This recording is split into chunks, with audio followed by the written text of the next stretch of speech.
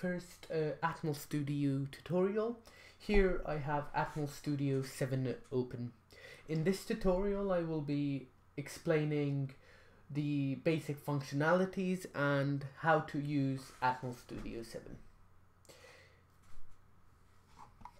So we will start by creating a new project which can be done over here under in the start page or under file new file new project.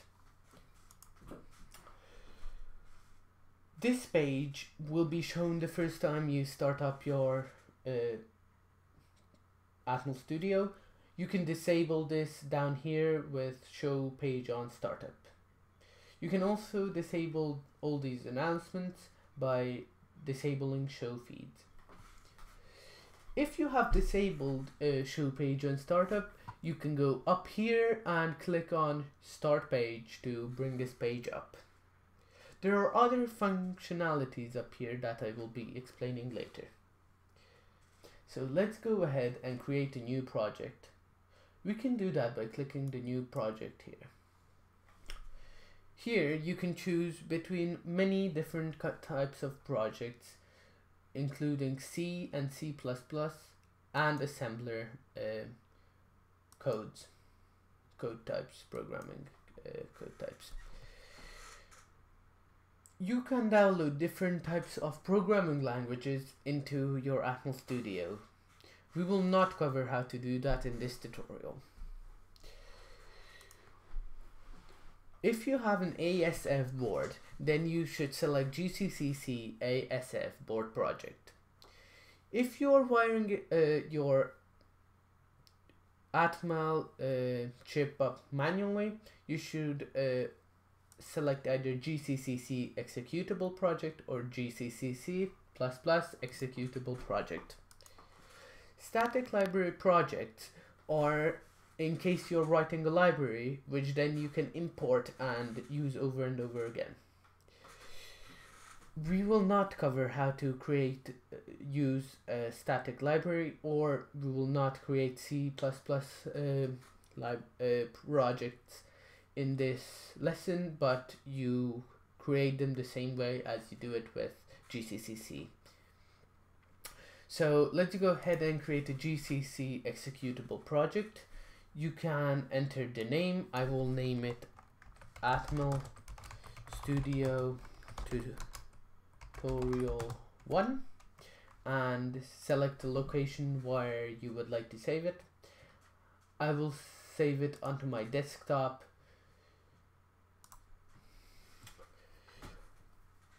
You can also create a Arduino sketch, which is a simplified version of C++. Uh, Arduino requires a separate board or a custom wiring? So if you would like to get more information about that go into arduino.cc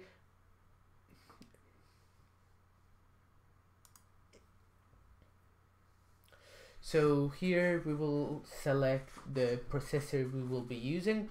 There are a lot of processor Atmel makes including ARM uh, and AVR. AVR is 8-bit or is 32-bit processors. Usually for your embedded projects you will be using AVR, so here you can select out the AVR you would like. AVR is ATtiny and Atmega, the two common ones.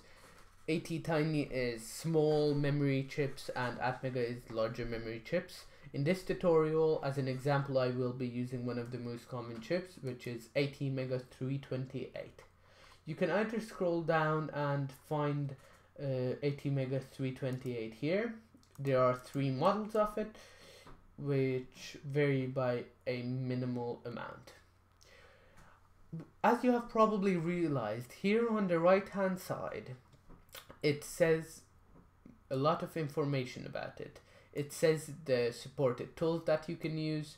The most common uh, programmer that you also probably should purchase if you don't have one is the JTAGICE Mark II. This is if you want to program AVR which are 8-bit. If you would like to program AVRs and ARMs, then I recommend the Atmel ICE, but of course this is much more expensive. Um, Atmel ICE does not support debugging for 8-bit uh, chips.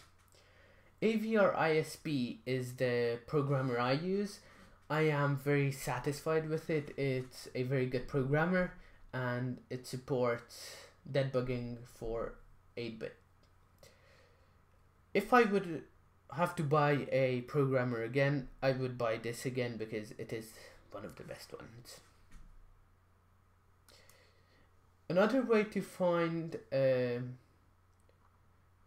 devices and chips is typing the name in here. So let's try Atmega 328 and it will you don't have to press enter it will automatically search and you can select your device type.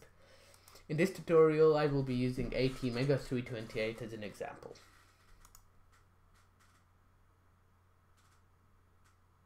So once the project has loaded, this is the default project. This is what you start out with. In this tutorial, I will be, not be uh, writing any code. I will just be explaining where everything is in the Atmel Studio. So as you see up here, here are the menus. In file, you can create new projects and new files. New files are usually used for uh, libraries or if you want to write a multiple files and then combine them it just helps organization. You can also create a new example project which Atmel will recognize as an example project. You can open either a file or project. If you open a new project the current project will save so be aware that will close. So be aware that you save your current project. You can uh, combine two projects together or no, this is not combine function. This is the, you can open an other project without closing the other one. So this is the where you do that. This is a new uh, uh, feature of Atmel Studio 7. So here you can see you can close Atmel Studio or close this uh, current project. You can also import different projects. This is where you combine the projects and you can save it in different ways, print it, and you there's this is a very useful thing that you can open recent files if you are coding a lot and you have to do it quickly. Just go and enter recent files and you can reopen it. Under the edit menu, of course, we have undo, redo, cut, copy, paste, uh, and delete. I hope you're familiar with that. Copy is obviously copy, paste is paste. Uh, cut is when it removes the data but copies it. You can, there's the traditional uh, word editing things such as quick find, find and replace, and all these. These are all similar things. You can also create bookmarks.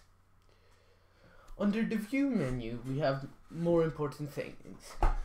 We can uh, alter the view between code uh, and many other explorers and windows, such as the Atmel tools, which we will be using to program it, output, and start page it, this is another place where you can find it. You can also may put it, your Atmel Studio into full screen if that's how you, if that is how you prefer it.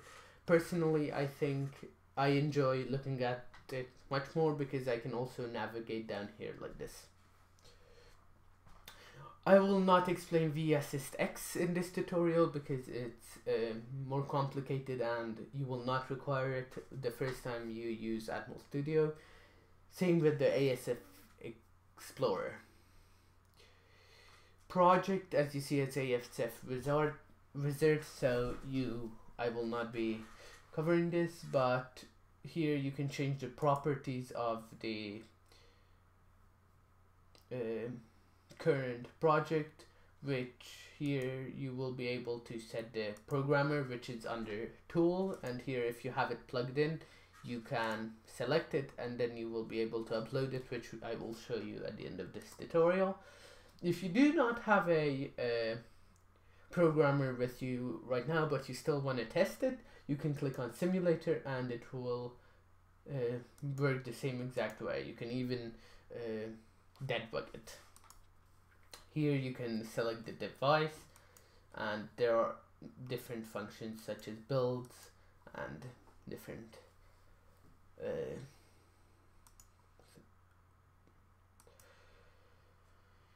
build is when you uh, want to create your code into machine code which that's how the chip actually works. It doesn't uh, absorb the code you wrote but Atmel Studio converts it into a different one and that is sent to it. So this is where you can do that. So you don't actually run it but only build it. Debug is a very useful function that I will cover in a different tutorial because it is it has a lot of functionalities but it's very very simple to use under the tools menu you can see command prompt which you can use if you are looking for something but don't know where it exactly is, you can search for online uh, uh, docu- documents on Atmel how you uh, use it. There's also the device programmer which you we will use to program our actual device. You can add a target and there's also that data visualizers which are for debugging. Under window, you can create new windows. If you have dual monitors or you just want to split the window, you can click split. And these are the traditional uh, splitting functions. There's also a help menu that I didn't I don't really like because it always opens the internet and that just I find it frustrating that it's not like on Mac OS X where it you can search within the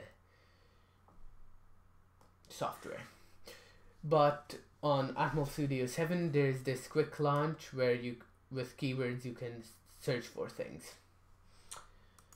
So this is a very useful uh, feature.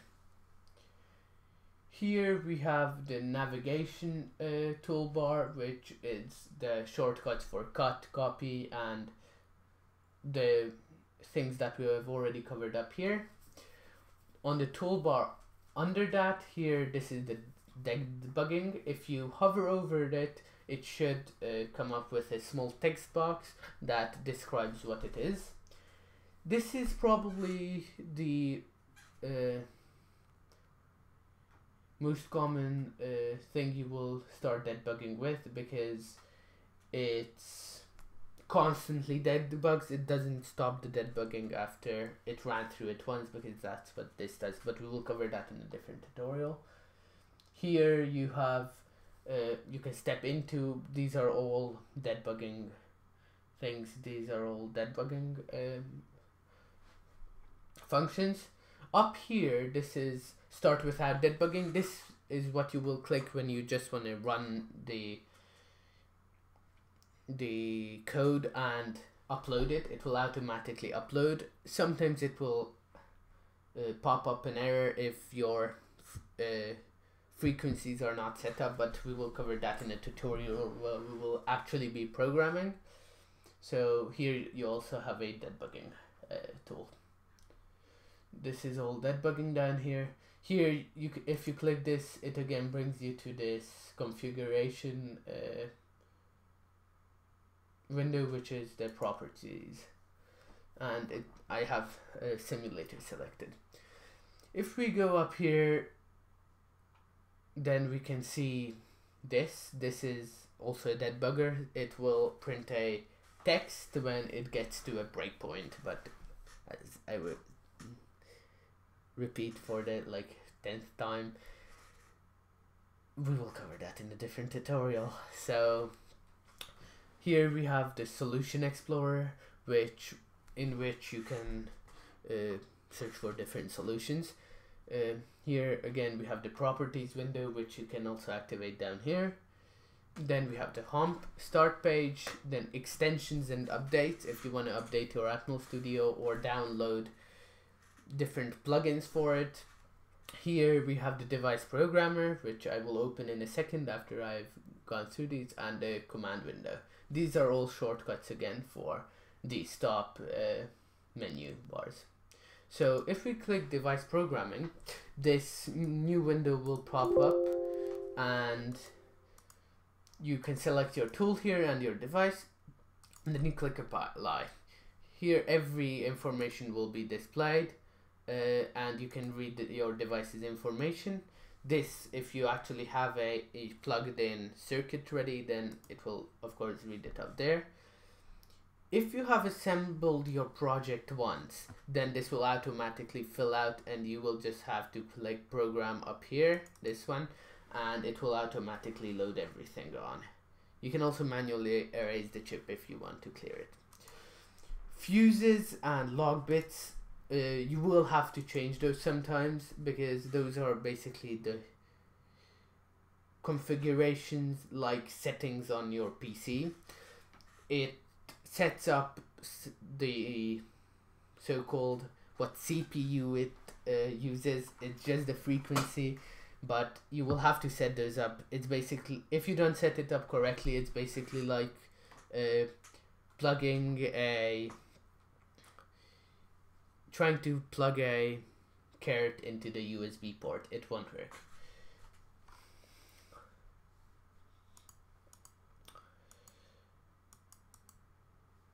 so this is and you can program the fuses down here we will cover that when we are actually programming it so these are the most of the functions that you will probably use or some of these you may not ever have to use then obviously this is where you write your code.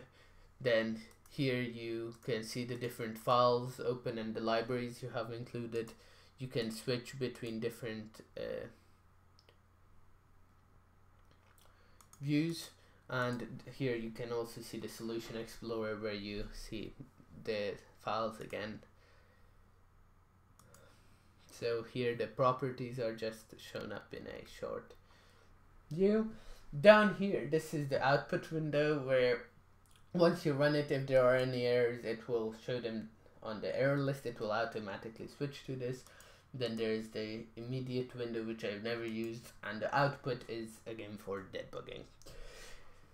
Uh, just so you know why I talk so much about debugging, debugging is a very important thing because that's how you can easily figure out where you went wrong in a very very long code. Uh, or program and every programmer uses it. So yeah, yes, these are the simple functions of uh, Atmel Studio. If you have any questions, please post it in the comments and I will reply as quickly as possible. Thank you for watching.